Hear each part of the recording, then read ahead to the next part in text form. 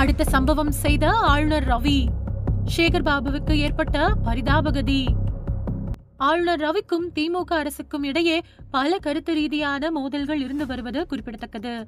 ஆளுநர் சனாதன தர்மத்தை பற்றி பேசுவதும் அதற்கு திமுக பதிலடி கொடுப்பதும் ஆளுநர் நமது கலாச்சாரங்கள் மற்றும் பண்பாடுகளை ஆங்கிலேயர்கள் அழித்துவிட்டனர் என கூறுவதும் அதற்கு திமுக பதில் கொடுப்பதும் நமது கல்வி முறையை ஆங்கிலேயர்கள் மாற்றிவிட்டனர் என ஆளுநர் ஆர் என் ரவி கூறுவதும் அதற்கு திமுக பதில் கருத்துக்களை வைப்பதும் தொடர்கதையாகி வருகின்றது.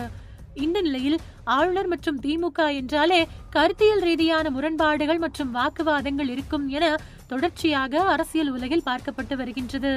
இந்த நிலையில் இன்று நாடு முழுவதும் சில இடங்களில் முன்னாள் பிரதமர் ஜவஹர்லால் நேரு பிறந்த நாளை முன்னிட்டு காங்கிரஸ் கட்சியினர் மற்றும் அரசு தரப்பில் மரியாதை செலுத்தப்பட்டது.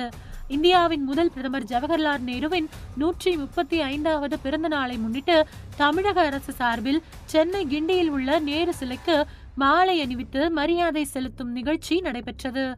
அதில் அமைச்சர்கள் வெள்ளக்கோவில் சாமிநாதன் தாமோ அன்பரசன் சேகர் பாபு சென்னை மாநகராட்சி துணை மேயர் மகேஷ் தமிழச்சி தங்கபாண்டியன் எம்பி ஆகியோர் கலந்து கொண்டனர். கொட்டும் மழையிலும் நேரு சிலைக்கு மரியாதை செலுத்த வந்த ஆளுநர் ரவியை அமைச்சர்கள் வெள்ளக்கோவில் சுவாமிநாதன் தாமோ அன்பரசன் சேகர் பாபு ஆகியோர் புத்தகங்களை பரிசளித்து வணக்கம் சொல்லி வரவேற்றனர். அப்பொழுது அமைச்சர் சேகர் பாபு ஆளுநரை வரவேற்று சிரித்துக்கொண்டே ஆளுநர் ஆர் என் ரவியுடன் கை கொடுக்க சென்றார்.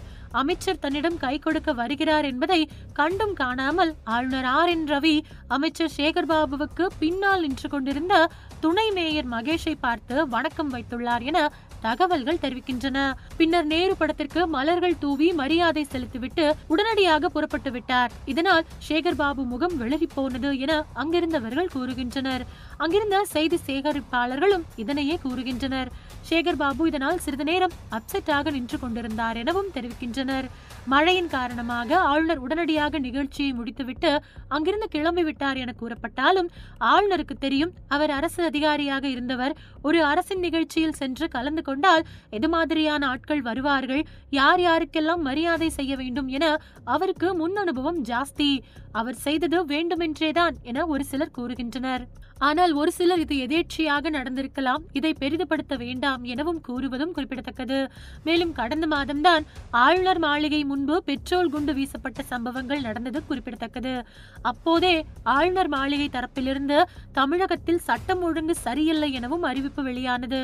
மேலும் ஆளுநர் சனாதன தர்மத்தை பற்றி எங்கு சென்றாலும் பேசி வரும் நிலையில் சனாதன தர்மத்தை ஒழிப்போம் என தமிழ்நாடு முற்போக்கு எழுத்தாளர்கள் சங்க மாநாட்டில் கலந்து கொண்டு அறநிலையத்துறை அமைச்சராக இருந்து கொண்டு சேகர் பாபு பேசியதும் ஆளுநருக்கு கண்டிப்பாக தோன்றியிருக்கும் எனவும் வேறு விமர்சனங்கள் எழுந்துள்ளதும் குறிப்பிடத்தக்கது.